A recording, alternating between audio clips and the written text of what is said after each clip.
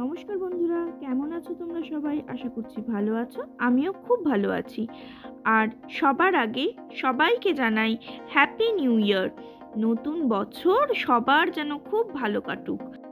Last twenty five ডিসেম্বরে আমরা গিয়েছিলাম দক্ষিণেশ্বর মন্দিরে। আর আজকে বছরের প্রথম দিন তোমাদের সঙ্গে সেটাই শেয়ার করব। আর প্রথমেই আমরা মেট্রো স্টেশনে চলে এসেছি, কলকাতার টালিগঞ্জ থেকে।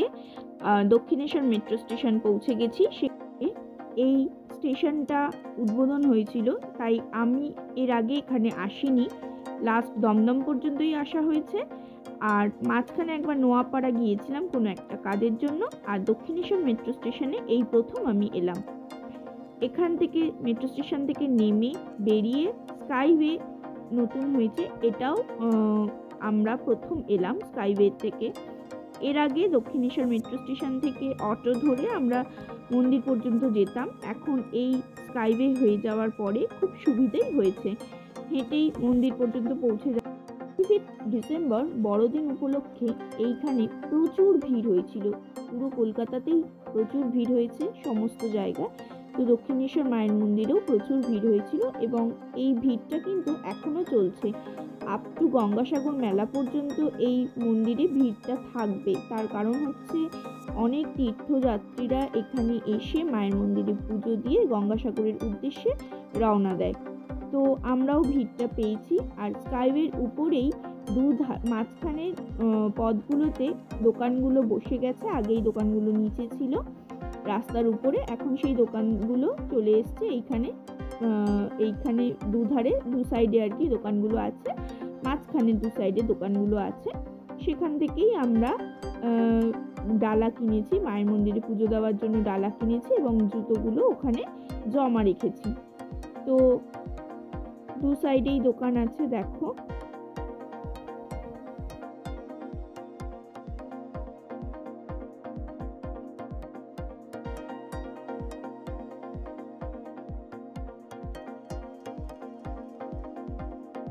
ভিড়ের জন্য ভালো করে আমি ভিডিও করতে পারিনি। তো প্রচুর প্রচুর মানুষ এখানে এসেছে ওই দিন।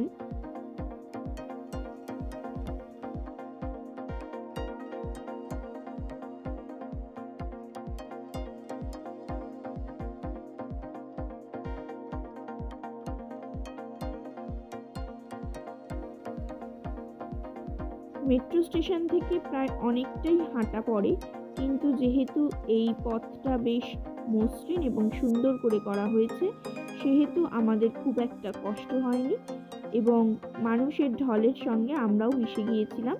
খুব তাড়াতাড়ি আমরা মন্দির পর্যন্ত পৌঁছে গিয়েছি। তো মোটামুটি আমরা চলে এসেছি।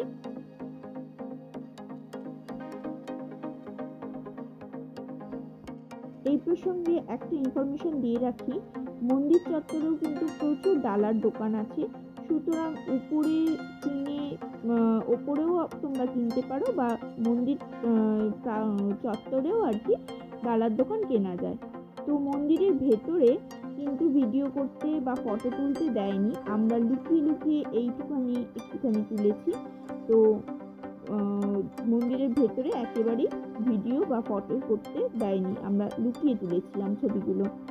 বালি ব্রিজ পর্যন্ত কিন্তু লাইন পড়েছিল মন্দিরে ঢোকার জন্য। তো সেই লাইন ঠেলেই আমরা মন্দিরে ঢুকেছি। তোমাদের সঙ্গে কিছু ফটো শেয়ার করলাম। এখন চলে এসেছি আদ্যাপীঠ মন্দিরে। আগেই খাওয়ার জায়গায় চলে এসেছি। সেখানেও প্রচুর লাইন দিয়ে কুপন কেটে আমরা ঢুকেছি। তো খুব খিদে পেয়ে গিয়েছিল সকাল থেকে। তাই আগে পেট পুজো, তারপরে বাকি সব।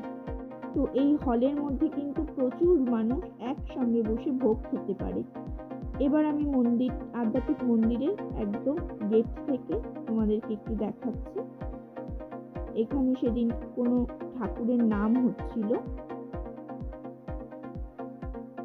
কিন্তু আদ্যাপীঠ মন্দিরটা মানে মূল মন্দিরটা কিন্তু বন্ধ ছিল। তো আমরা ঠাকুরের দর্শন করতে পারিনি। তো আদ্যাপীঠ মন্দিরে তোমরা সবাই ভালো করেই জানো পুজো দেওয়া যায় না, তো আমরাও দিতে পারিনি।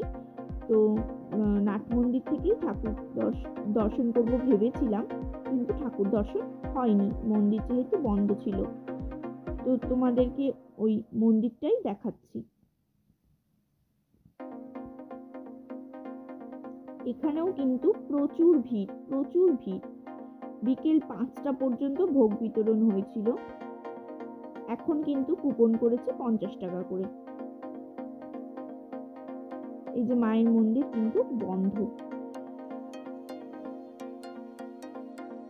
মায়ের মন্দিরের একদম বাইরে ধূপ, মোমবাতি জ্বালানোর ব্যবস্থা আছে।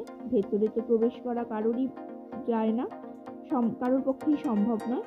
সুতরাং বাইরে থেকে ধূপ, মোম দেওয়ার জায়গা আছে।